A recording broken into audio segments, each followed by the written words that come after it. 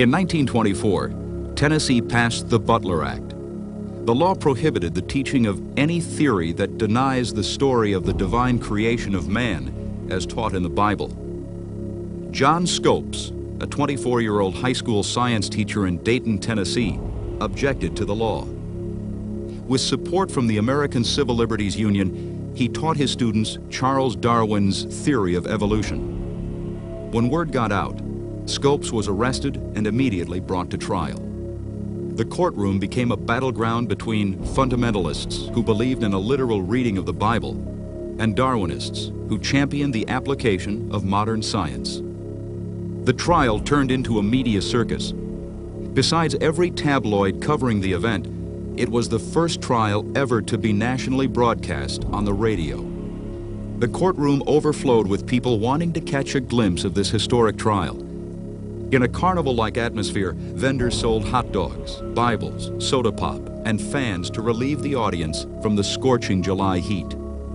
The ACLU hired esteemed lawyer Clarence Darrow to represent Scopes. Clarence Darrow is an interesting figure.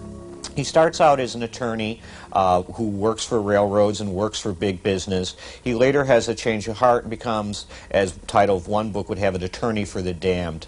That is to say, an attorney for those people who are being oppressed, an attorney for those people who are being attacked. He's essentially a socialist. He's a great defender of the labor movement.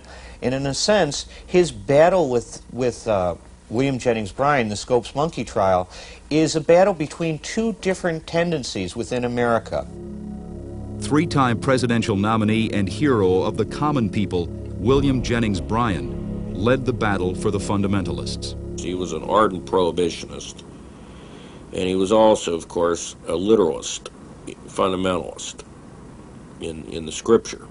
And so he was very interested in, he was against the theory of evolution and the teachings of it, all this modernism, and he was for keeping basic core values. Scopes was found guilty, but only received a $100 fine. Although Bryan was victorious in the trial, Darrow won the war.